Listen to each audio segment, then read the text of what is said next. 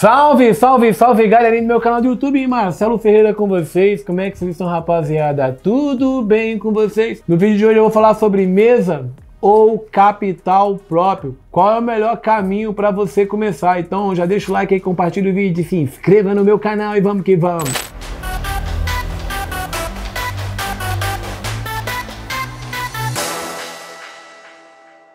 Cara, é o seguinte, Mesa ou capital próprio, independente do caminho que você escolha, eles têm algo em comum, entende? Que ambas as formas você vai ter que saber operar. Então, independente se você vai escolher começar por uma mesa ou você vai começar a operar por capital próprio, em ambas as situações você vai ter que ter conhecimento, prática, rotina, vai ter que ser um trade ali extremamente focado, porque no mercado amadores não se sustenta. Pensa, é a maior profissão do planeta, é a profissão mais foda que existe. Ganhar dinheiro em casa é realmente prazeroso. É prazeroso demais, não depender de nada, não depender de ninguém, entendeu? Você vai lá e faz, só faz seu trade, acabou. Então tem um lado, tem um bônus que é esse.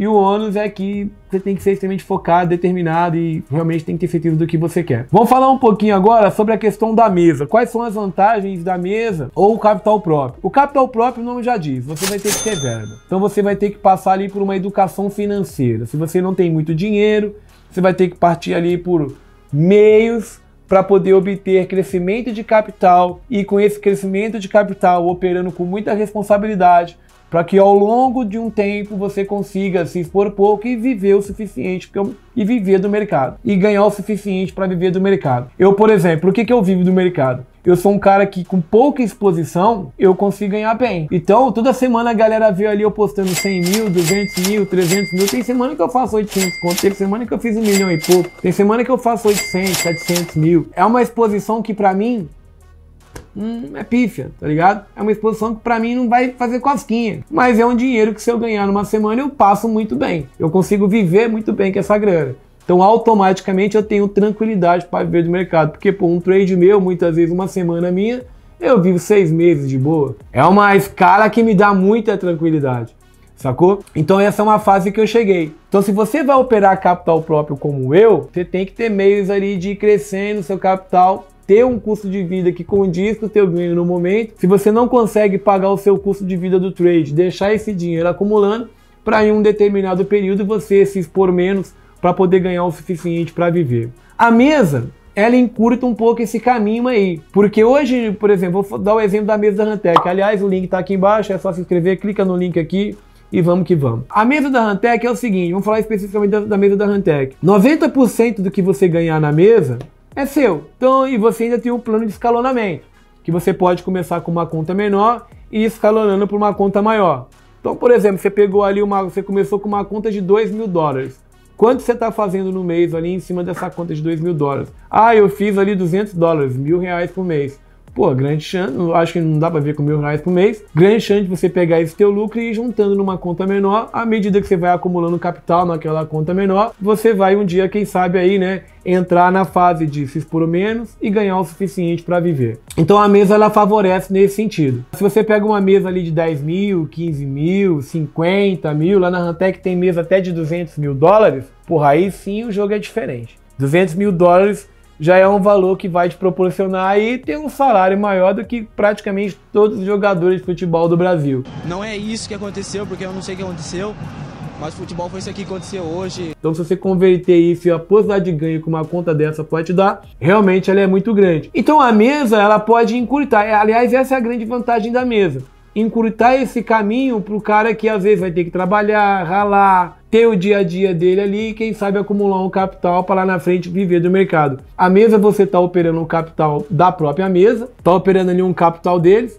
e teoricamente quando você fica ali com 80, 90% do lucro, eu diria que é como você estivesse operando com seu próprio capital. O mais difícil ali é passar. Aliás, eu não acho tão difícil passar. Tem muitos alunos novos já passando, recorde de aprovação lá, galera do Robô Família, todo mundo sendo aprovado, alunos sendo aprovados o tempo todo. Parece que é 10% ali que eles exigem para você passar em 30 dias. Tem um outro planinho também que não exige nos 30 dias, o que é mais fácil para passar ainda, então não é tão complicado assim. 10% não é difícil. E a, depois que você passa, você tem o dinheiro da mesa para poder operar e 90% do seu lucro. A partir do você tem 90% do seu lucro, eu considero que, pô, você está operando o seu dinheiro. Porque 90% do lucro é muita coisa. Então, se você fez lá mil dólares de lucro, pô, significa que 900 dólares é seu. Então, você ganhou 900 dólares em cima de um dinheiro que você Agora não tinha. Eu saquei. Sacou? Então, automaticamente, por esse motivo, eu diria que a mesa é uma vantagem, porque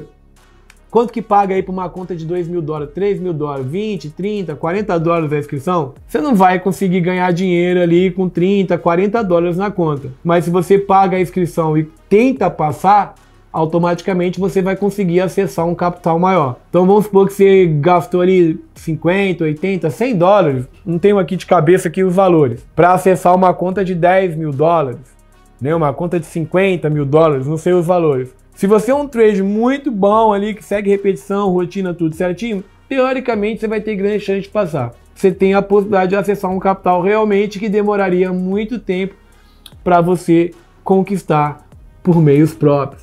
Então a mesa ela é uma opção. Talvez mais interessante por esse sentido do que o capital próprio. Eu gosto muito da questão do capital próprio, apesar da mesa também permitir que você conquiste seu capital próprio, ela não te impede disso, como eu falei. Se você consegue sacar todo o seu lucro da mesa e transferir esse lucro para uma conta sua parte, que na qual no futuro próximo você vai estar tá operando ela, Pô, teoricamente você está usando a mesa apenas como um meio. Você está usando a mesa como um meio de acessar um capital que teoricamente você teria dificuldade de acessar. Então a mesa ela acaba sinceramente encurtando. Depois que você chegar num patamar de ter um capital bacana, um valor interessante para você viver do mercado, aí muitas pessoas me perguntam: "Mas Marcelão, quanto que é para viver do mercado?" Cara, depende da tua regra, irmão. Vai depender da tua regra. Meu cartão de crédito é 180 mil por mês.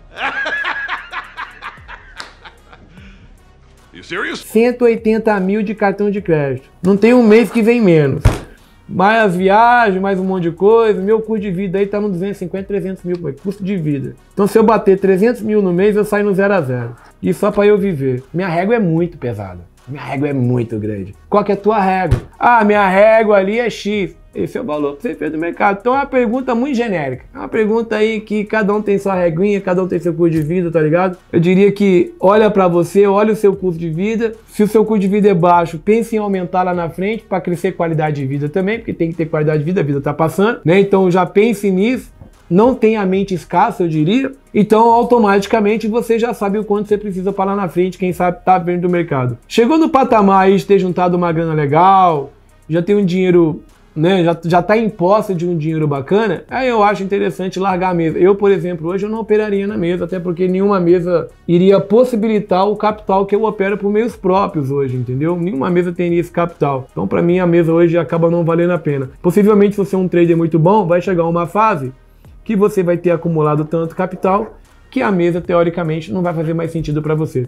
É importante entender também, assim, eu vejo muita gente perguntando sobre mesa ou capital próprio. Cara, se, a partir do momento que você sabe operar e você entende de operacional, é, existem várias possibilidades no mercado, várias situações que você pode ganhar dinheiro no mercado e começar a operar no mercado sem ter dinheiro. A mesa, por exemplo, ela exige que você faça um teste, que você passe nesse, que você seja aprovado nesse teste, por exemplo. Mas hoje, por exemplo, nós temos também os provedores de sinais, que é uma situação também que muitos traders de sucesso que ganham dinheiro operando, que operam muito bem, que não tem dinheiro para começar, podem acessar. Quais são os app provedores de sinais aí que eu posso utilizar, Marcelão? A Rantec, principalmente, tem um app muito legal, que é o Rantec Social, que é um app onde você pode copiar. Copiar eu não gosto, tá? Copiar aí é sacanagem, que copiar é foda.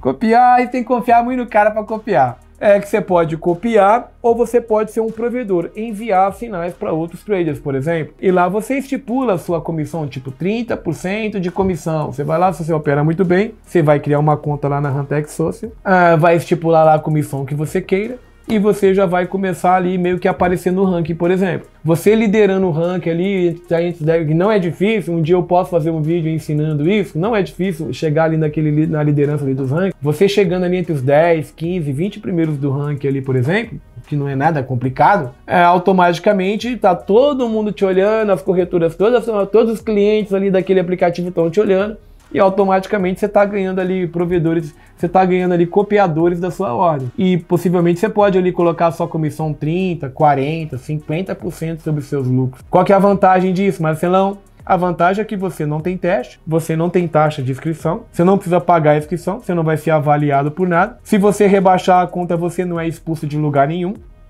Então é uma, é uma opção mais livre, por exemplo. Eu, se não tivesse grana para operar, eu primeiro iria por essa, depois eu procuraria a mesa, por exemplo. A mesa não enquadra muito no meu perfil, entende? Porque eu não me dou muito bem assim com esse tipo administrativo, tá ligado? É, sobre muitas rédeas, assim, muita coisa de mim, eu acabo não me dando muito bem com isso. Mas eu iria, por exemplo, para prover sinais. Então você tem a opção, por exemplo, de ser um provedor de sinal, com muito menos obrigação. A diferença é, tem que saber operar muito bem. E se você não tiver ali aptidão ou amor ao mar digital, um cara que tenha facilidade em se expor no marketing digital, teoricamente você teria que conquistar esses clientes por um meio. Quais seriam esses meios, Marcelão? Pô, apenas aparecendo ali em pontuação alta no ranking, por exemplo. Seria uma forma de você pegar e conquistar esses clientes sem ter conhecimento em marketing, sem ter essa aptidão toda pelo marketing, por exemplo. Então, temos algumas opções aí. Eu diria a mesa, ser um provedor de sinais, né? Ou até por meio de capital próprio. Em ambas as formas, você vai ter que saber operar muito bem. Porque se você não souber operar muito bem, capital próprio, você vai quebrar sua conta e vai perder aquele dinheiro suado. Se você não souber operar muito bem, vai ser eliminado da mesa em algum momento. E se você não souber operar muito bem como provedor de sinal, ninguém vai querer copiar o teu sinal. Então, estude, pratique, se aperfeiçoe, né? E ao longo do tempo aí você vai meio que encontrando seu caminho. Mas já deu para perceber no vídeo que para quem não tem dinheiro mesmo, para quem tá zerado, para quem não tem grana, talvez a mesa seja uma opção. Mas se você for um cara que tem 2, 3, 4, 10 mil dólares na conta e não tem ideia de acessar um capital maior, tipo uma conta de 50 mil dólares, 100 mil dólares, que teoricamente é um pouco mais cara a inscrição, e talvez para você não faça tanto sentido, a mesa não seria interessante. Mas se o seu capital é pequeno, a mesa possivelmente é um caminho. Entende? E é isso aí. Deixa o like, compartilha o vídeo, se inscreve no canal, comenta aqui embaixo e vamos que vamos.